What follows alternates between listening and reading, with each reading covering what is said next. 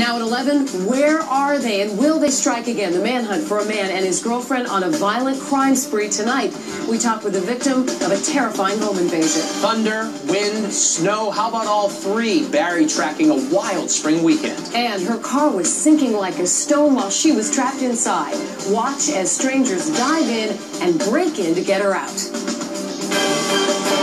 Live from the Channel 4 studios in Boston, WBZ News at 11 starts right now. And we have new developments in the urgent search for the man and woman who police say are on a violent New England crime spree. Tonight, in a WBZ exclusive, we're hearing from a man who says he's one of their victims. Police say the couple carjacked drivers and robbed banks in five different locations in the last month. Police want to find them before this happens again. WBZ's Julie Loncich live in Seabrook now where the last crime took place. Julie?